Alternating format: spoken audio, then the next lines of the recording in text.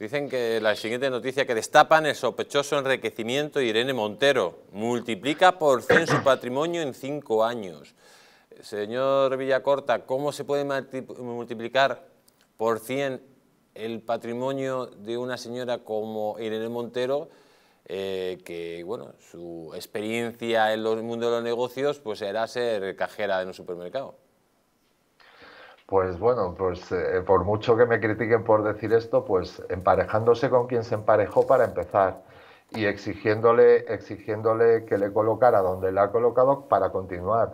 Pero no sé cómo le puede sorprender a alguien esta noticia, puede que haya gente que les sorprenda, cuando que estamos hablando que ha pasado de ser cajera de un supermercado a ser dueña, con todos los respetos a las cajeras, claro que se ganan la vida muy, muy seriamente, a ser dueña de una mansión en Galapagar de más de 600.000 euros, a tener una vida a tutiplén y a pegarse viajecitos a costa de todos los españoles a, a Estados Unidos para pasar unos días con la Cuchipandi haciéndose selfies en los sitios turísticos de, de Estados Unidos.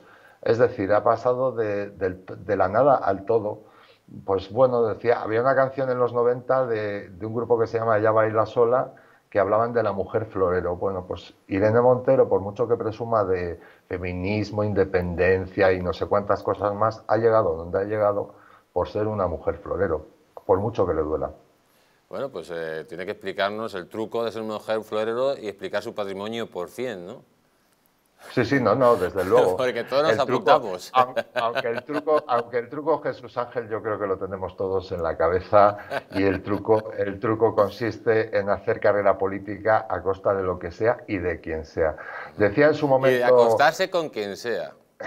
Eso es lo peor, que, hay que tener mucho estómago, ¿no?